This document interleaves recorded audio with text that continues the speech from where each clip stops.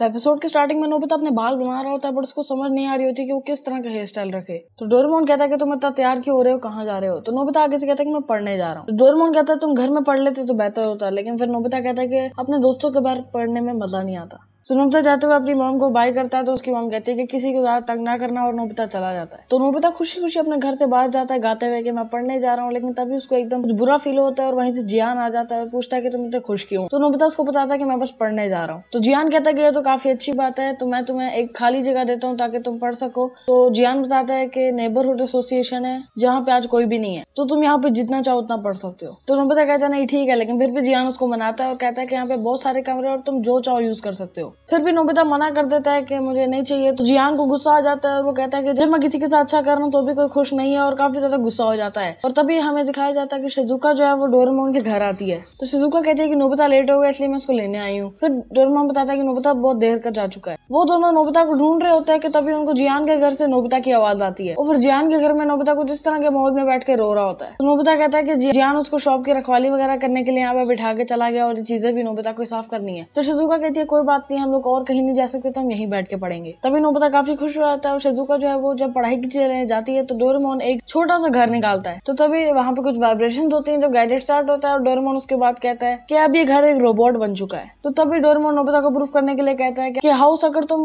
Robot बन चुके हो तो मुझे बताओ। तो तभी वहाँ टीवी पे लिखा आ जाता है। फिर वो लोग उस रोबोट को चीज़ें वगैरह साफ़ करने को कह देते हैं। फिर वो लोग घर को अपनी चीज़ें अपनी जगह पे रखने के लिए कह देते हैं। फिर सारी चीज़ें अपनी अपनी जगह पहुँच जाती हैं और एक वैक्यूम आके भी कमरा साफ़ कर देता है। तो डोरेमोन कहता है कि ये एक रोबोट है, इसलिए मोस्ट ऑफ़ द चीज़ें खुद ही कर लेता है। और तभी वहाँ पे एक पानी से भरी बाल्टी आ जाती है। और उसमें कपड़ा खुद ही गिर के गीला होकर बाहर आता है और फिर फ्लोर को साफ़ करने लग जाता है। वो सारी चीज़ें अपनी जगह पे जाने लग जाती हैं। तभी वहाँ पे शिजुका आ जाती है और जब वो दरवाज़ा खोलती है तो वो ऑटोमेटिकली खुल जाता है। तो शिजुका काफ़ी हैरान होती है और फिर जिस मैट के ऊपर वो खड़ी होती है, वो खुद ही उड़ के उसको अंदर ले जाता है और डोरेमोन नोबिता वहाँ पे बैठे हुए होते हैं। और फिर डोरेमोन और नोबिता शिजुका को बताते हैं कि पूरा घर साफ़ हो गया और ये जो चीज़ है, ये इस रोबोट ने की है। फिर तो भी नोबिता जो है, वो कहता है कि अब हमें पढ़ाई करनी है। तो खुद ब खुद तीन क्वेश्चन आ जाते हैं, जिसपे वो तीनों बैठते हैं और साथ ही साथ वहाँ पे रेडियो भी आ जाता है, जो की खुद ऑन होता है और साथ एक हीटर भी लग जाता है। फिर तभी वो लोग वहाँ पे आराम से बैठ के पढ़ रहे होते हैं तो सुनियो, बाहर आ जाता है और कहता है कि आज मैं अपनी वीडियो गेम यहाँ से लेकर आऊँगा और दरवाज़ा खोलने की कोशिश करता है तो वो ऑटोमेटिकली ही खुल जाता है। तो उसके बाद वो सुनियो को भी अंदर बुला लेते हैं। सो सुनियो कहता है कि अगर तुम लोग को पढ़ाई करनी है तो मैं भी कर सकता हूँ। यहाँ पे बहुत सारे रूम लग्जरी सोफास वगैरह है तो काफ़ी मज़ा आएगा।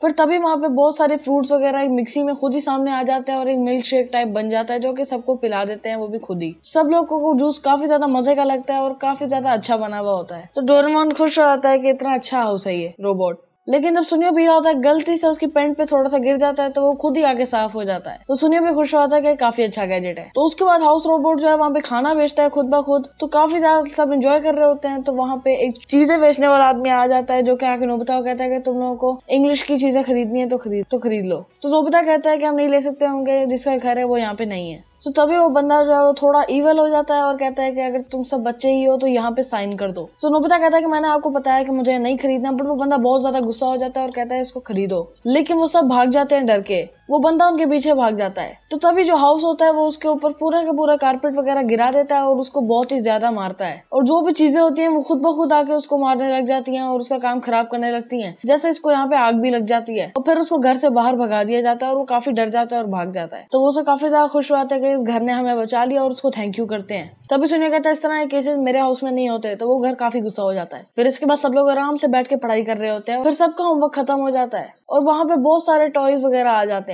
जिसमें नोबिता और सुनियो अपनी अपनी चीज़ें निकाल लेते हैं जो कि जियान ने उससे ली होती हैं। तो तभी वो लोग जो है वो पार्क में सॉकर खेलने जाते हैं, सुनियो शिजुका नोबिता और डोरेमोन। तो तभी वहाँ जियान भी बैठा हुआ होता है। फिर जियान कहता है, नोबिता मैं तो तुम्हें घर पे रहने को कहा था और रखवाली करने को कहा था। लेकिन फिर नोबिता कहता है कि घर ये चीज़ खुद कर लेगा, मसला नहीं है। जियान हैरान हो जाता है, उसको समझ नहीं आती कि हुआ क्या। फिर जब वो अपने घर जाता है तो एज यूजल ऑटोमेटिक दरवाज़ा खुलता है और वो अंदर जब जाता है तो खुद ब खुद उसके गंदे पैरों से जो भी गंदगी होती है, वो साफ़ हो जाती है। और चीज़ें भी खुद ब खुद अपनी अपनी जगहों पर पहुँच जाती है, जो भी जियान गंद फैला रहा होता है। जियान बहुत ही ज़्यादा खुश रहता है और उसके लिए जूस भी आ जाता है। जियान आराम से अपना जूस पीता है और कहता है कि मुझे कुछ खाने को दो तो वहाँ पे खाना भी आ जाता है। जियान काफ़ी मज़े से खाना खाता है, उसका रैपर फेंक देता है। लेकिन तभी जियान कहता है कि मैं चाहता था कि ये घर और ब्यूटीफुल हो जाए। और कहता है कि जितना भी साफ़ हो जाए, ये मुझे नहीं पसंद इतना। तो घर को काफ़ी ज़्यादा गुस्सा आता है कि अगर वो सब कुछ साफ़ कर रहे हैं, फिर भी जियान गंद फैला रहा है और उसके बारे में बुराई भी कर रहा है, वो जियान को घर से भगा देता है। फिर जियान कहता है कि प्लीज़ मुझे वापस घर के अंदर आने दो। तो तभी साइड में जो पाइप होती है, वो जियान के पास आती है और उसके मुँह पे पानी फेंक देती है। तो तभी वहाँ पे सुनियो नोबिता वगैरह जो है, वापस आ रहे होते हैं। तो उनको जियान दिखता है और वो काफ़ी ज़्यादा और वो काफ़ी ज़्यादा हैरान हो जाते हैं। और यहीं पे एपिसोड एंड हो जाता है।